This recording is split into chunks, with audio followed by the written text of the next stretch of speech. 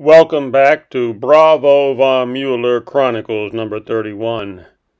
Today our story is about the war on cash. The drills begin. Today is July 31st, Sunday, 2022. I am putting together a briefing on the Sachs brothers as I speak and will upload that video to my Bravo von Muller channel in about an hour or so. So in that video to come, it's going to be uploaded on my other main channel, I describe how the New World powers will bring down the American Roman Empire by choking her of her oxygen. Her oxygen is cash flow. So it's going to be a somewhat long war of many, many small little battles. But every battle will all have this, every battle will have the same MO. They will all have one thing in common choke America of her oxygen. And again, her oxygen is her cash money flow. It will be a slow, painful death. So when I say the drills begin, we start with the eight countries there eight countries Canada, Finland, Israel, New Zealand, Singapore, the Netherlands, and United Kingdom.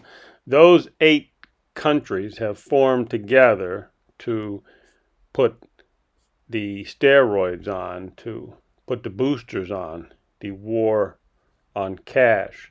So now the video I talked about, about the Sachs brothers, which I will be uploading to my main channel in a little bit, it all ties together with this. Okay, the Sachs brothers are rich money changers. They're world citizens. And the Chinese and the Russians have ways of getting to the Sachs brothers or any of the money changers. So everything that the new world powers do, they will be looking for people like the Sachs brothers and other high, powerful people in the cabal. And they will use these people in the cabal to choke America of her cash flow. Now, starting on August 1st, they're going to they're starting the drills in Israel also as Tamar Bracha says. Tamar Bracha is responsible for carrying out this new law in Israel. We want the public to reduce the use of cash. Says that right there. She they do not want you to use cash money Tamar says. And the, and the law starts in Israel and August 1st.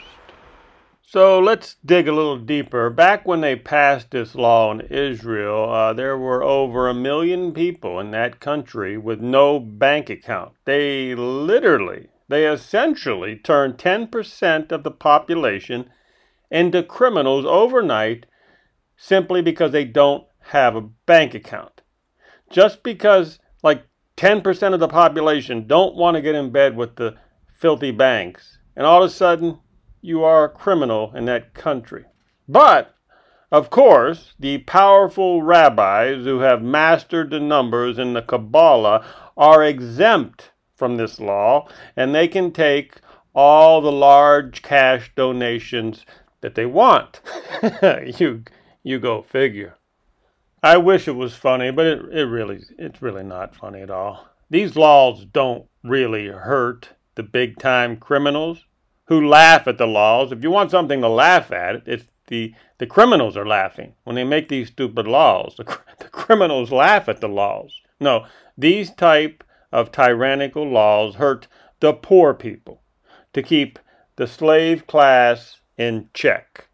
So when it comes right down to it, once you begin to understand that the elites and the powers to be work with the criminals, well, then you start to understand a lot better who the laws are directed at. The laws are directed at you and I, the poor people. So, in closing of this Chronicle number 31, Choke America Out, I will leave you with this. All of us regulars to these briefings, we understand the power the money changers have here in America. But just in case the rare chance that we have a newbie in our briefing room today, let me explain how this happens. How these laws eventually these bureaucratic rules make it to America. Now, what we're talking about today is August 1st in Israel, the war on cash gets stronger. New law in Israel. I've showed you the other eight countries that are involved in their little pact. This will expand. Of course, um, in the UK, it looks like the money changers have complete control of the UK now. I would suspect that in the future, the Irish will fight this at the right time.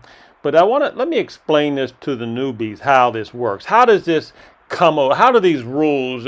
You say, "Oh, well, this is in Israel, Bravo. What the hell are you talking about? We're in America. God damn it!" Well, let me explain it to the newbies how these regulations cross the borders, cross the ocean, and how they get over here. For example, we're all familiar with uh, when you come into contact with the men in blue uh, especially the lower classes. When the lower classes come into contact with the men in blue, they have the badges, they have the guns, and they don't follow instructions. Well, we're, we're all familiar how the men in blue choke out the lower class. I mean, if you don't, if you do not follow orders, if you do not follow directions, they have a technique where they were to choke you out, choke your oxygen out. We uh, I'm getting emergency alerts for rain in the desert. Jesus Christ, I hate those things. Um, anyhow, um, where was I at? Okay, so we're all familiar with how law enforcement chokes out the lower classes when they do not follow instructions. Okay. But what you may not understand is how the law enforcement officers in America, all across America, how did they learn that technique, the choking out of the lower class? when they get uppity and they don't listen. That technique was actually taught to them by the Mossad. So we've got an intelligence agency in a foreign country who crisscrossed America and taught our law enforcement officers the technique. This is the way you're going to choke out the lower class when they do not listen to you. And this was a procedure, schooling that went on for years and years and years up until just recently. And now all hell's broken loose on that, uh, choking out the people. I'm not a big fan in choking out people. I mean, I would much rather just throw a net over somebody. You remember, remember those movies, uh, Planet of the Apes? I mean, it'd be safer just to throw a net over somebody than to choke them out or stun them or shoot them. I mean, uh, again, but remember, all the laws are directed towards the poor people. What I'm trying to say to you, what happens in these foreign countries? You say, well, they'll never come to America, bravo. You can get that through your thick little head. Well, no, no, you'd be wrong. Th these drills start in all the, in the smaller countries, and eventually they work it over here. There was no law passed in Congress. There was no law passed in the Senate that gave the Mossad the authority to crisscross our country and train our law enforcement how to choke out the lower class. There was no law passed in America. That was done through a bureaucratic chain of command. Now you know how these things eventually do work their way to America, and they do it behind closed doors. You don't even know about it. So that's it for Chronicle number 31, War on Cash. The drills begin.